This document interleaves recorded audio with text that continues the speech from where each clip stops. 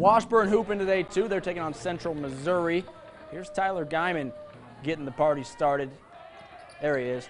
He just loves hitting shots at the buzzer. This one just the shot clock buzzer. Still at the buzzer though. And Central Missouri goes the other way, but it's blocked. Michael Keegan chases him down, blocks it. Here comes Jalen Lewis, though. Another bucket for him. He got it with the right. Geiman and Lewis, just such a good one two punch. Back to Geiman, takes it in. He will score it. The Bodger winners in Lee Arena 85 74.